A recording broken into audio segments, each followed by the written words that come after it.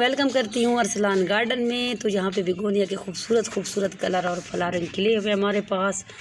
تو ٹاپک ہمارا کوئی اور ہے، دکھا کچھ اور رہی ہوں۔ اور ماشاءاللہ یہ بھی خوشی اپنے دوستوں سے میں شیئر کرنا چاہتی تھی کہ ہمارے پاس بگونیا کے دیکھیں کتنے پیارے اور خوبصورت کلر جو ہے وہ کھل رہے ہیں۔ یہ گرین والا ہے اور یہ جو ہے بلیک والا ہے۔ تو یہاں پہ ایک بڑا سا پاٹ ہے، اس کے اندر یہ لگے ہوئے ہیں۔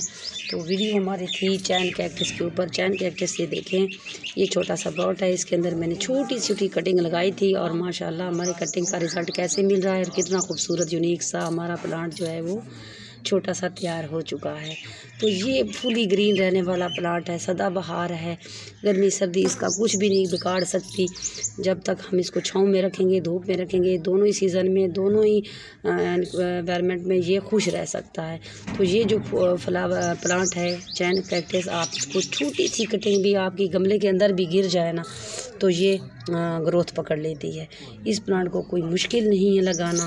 بہت ہی ایزیلی بہت ہی خوبصورت لگنے والا۔ آپ جب بھی اس کی کٹنگ لگائیں تو ڈھیر ساری کٹنگ ایک ہی گملے کے اندر لگائیں اور اسی طرح کے پلانٹ پائیں۔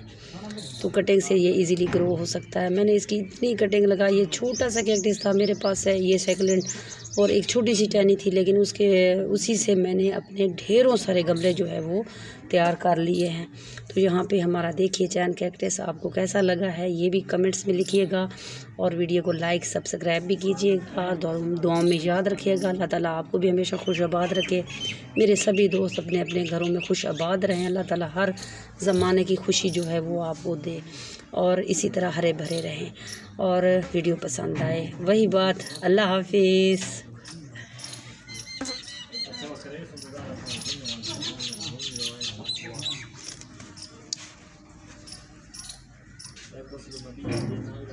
you.